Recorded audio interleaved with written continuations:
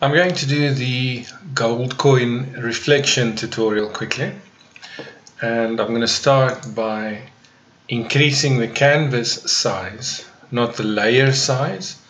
I'm going to increase the canvas size so that's basically the same as increasing the image size.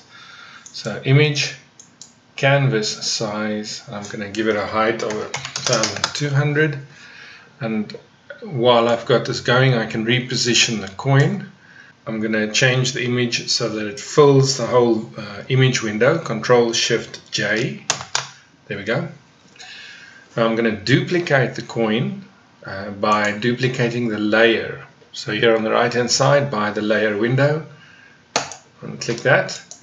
I'm going to take the bottom layer and just move it down slightly so I press M for the move tool, click on the canvas somewhere, and then shift down arrow.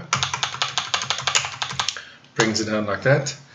Now I'm going to go to the layer tool because I only want to flip this layer. Layers, layer, transform, flip vertically. There we go. Put it on there. I'm going to scale this so that it's more flat. Shift T and move that up. There we go. Transform. Again switch to the move tool M. Arrow key move it down slightly.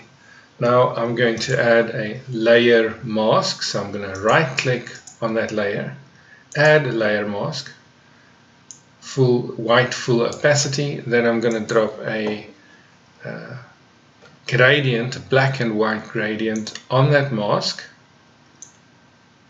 Let's see, I, always get it wrong the first time. there we go, I quite like that. Enter to confirm. There we go. And I'm going to add a black background on a new layer. There we go. So I've got my reflection. I can now bring the opacity on that layer down until I'm comfortable with the reflection. There we go. Quick and simple.